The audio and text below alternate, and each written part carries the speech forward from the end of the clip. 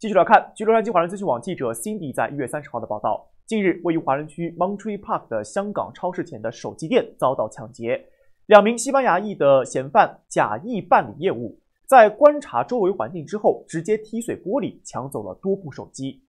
那么根据现场的监控显示，两名西裔男子均穿着深色衣服和裤子。戴着口罩、帽子，将自己包裹的是严严实实的。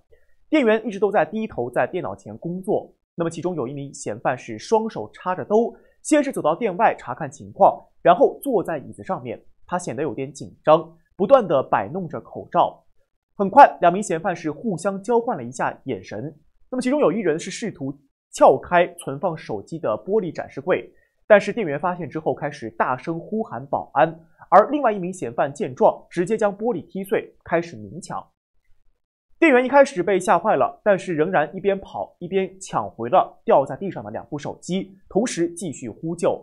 那么这个时候，超市里的保安听到声响也跑了出来。